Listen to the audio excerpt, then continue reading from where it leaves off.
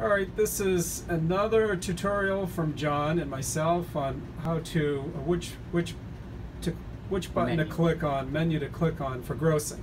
You see this gross description entry edit, which I always use, which may seem to be the obvious one, or what's the other one? Histology data entry edit.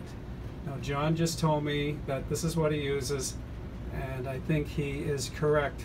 By using this menu, uh, you save some time.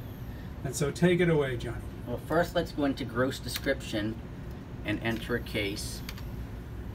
You may, you can certainly gross from this By clicking edit text.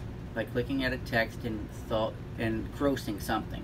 Yep. Then when you log out, you need to log completely out and then go down to histology Histology data entry. entry. Because, However- because you need to enter the number of pieces Piece- for pieces each block. per each block. Very important. However, you can also gross from the histology data entry edit by calling up here, going over to text, do, making sure that you click on at the bottom, next process, gross complete, place on working draft batch, or else it will not print out your gross. text. Then click edit text.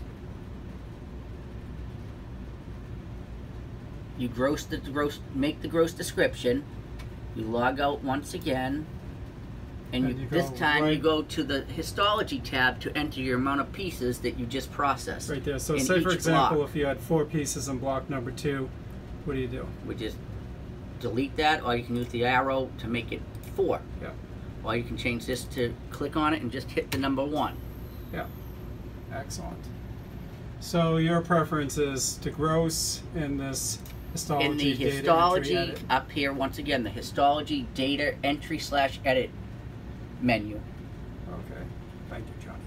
you're welcome